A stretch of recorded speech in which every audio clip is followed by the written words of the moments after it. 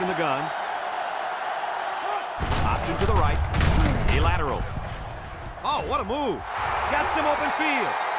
And that's his second rushing touchdown of the first half. And the head coach has to love the way this kid is running the football.